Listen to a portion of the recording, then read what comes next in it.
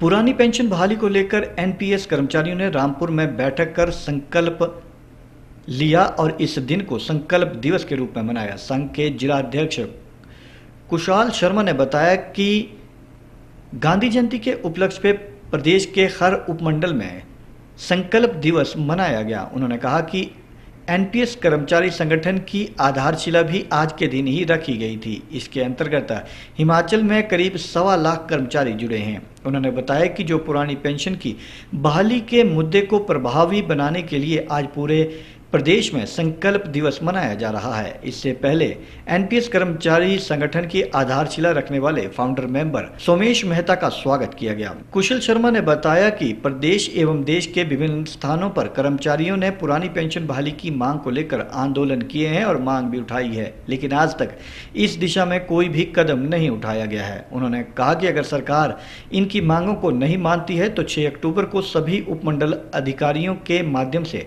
मुख्यमंत्री और प्रधानमंत्री को ज्ञापन भेजा जाएगा और अगर फिर भी कुछ नहीं बनता है तो 24 अक्टूबर को जिलाधीश कार्यालयों के बाहर सांकेतिक धरना दिया जाएगा। अब कर्मचारियों ने इस शुभ अवसर पर पुरानी पेंशन बहाली की संकल्प भी लिए हैं।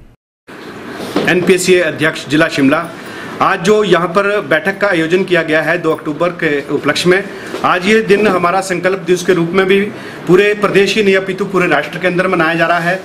और हिमाचल प्रदेश की बात करें, हिमाचल प्रदेश के जितने भी हमारे खंड हैं, वहाँ पे जो है इसी तरीके से कार्यक्रम हो रहे हैं। और आज जिला शिमला के भी, मैं यहाँ की बात करूँ, आज रामपुर में, ज्योरी में, नोगली में, और हर जगह पूरे जिला शिमला के कई खंडों में आज जो है यहाँ पर कार्यक्रम आयोजित हो रहे हैं और इसका जो मुख्य उद्देश्य है आज इसको हम संकल्प दिवस के रूप में मना रहे हैं। किसी क्योंकि आज ही जो एनपीएससी एसोसिएशन है हमारा जिसमें सवा लाख से ऊपर का कर्मचारी आज है आज के ही दिन इसका जो है आधारशिला रखी गई थी। और आज के दिन के माध्यम से हम प्रदेश सरकार को आगाह करना चाहेंगे और केंद्र सरकार को भी ये हम जो है आ, कहना चाहेंगे कि जो ये पुरानी पेंशन का मुद्दा है जो केंद्र सरकार ने 2000 एक एक जनवरी 2004 से और हिमाचल प्रदेश सरकार ने 15 मई 2003 से बंद कर रखी है। उसकी बहाली के लिए आज संकल्प लिया जाएगा और इसके साथ साथ हम कई मरतबा माननीय मुख्यमंत्री जी से मिले।